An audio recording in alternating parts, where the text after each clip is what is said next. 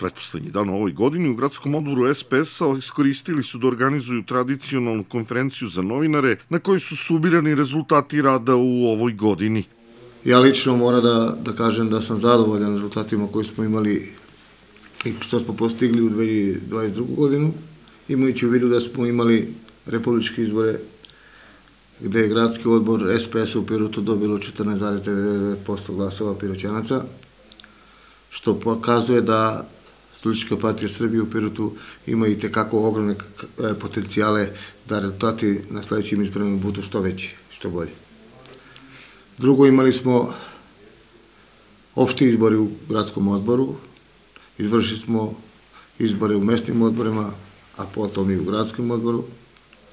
I 17. decembra smo imali Kongres Studičke partije Srbije, gde smo izabrali predsjednika Socijalističke partije Srbije i glavni odbor Socijalističke partije Srbije.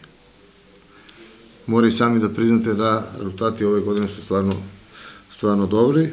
Panajatović očekuje da i naredna godina bude uspešna za pirotske socijaliste.